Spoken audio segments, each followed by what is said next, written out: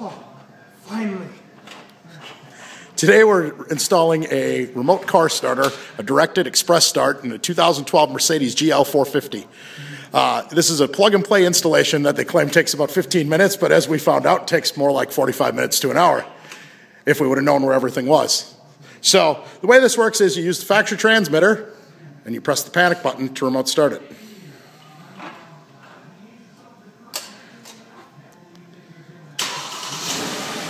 Now this particular install also has a smart start plugged into it, but I don't have the customer's phone here to show that functionality. So factory transmitter is still fully intact. And as you can see, we can shut it back off by remote. So we charge $12.99 installed for this particular install. So if you're interested, give us a call, 920-457-7322.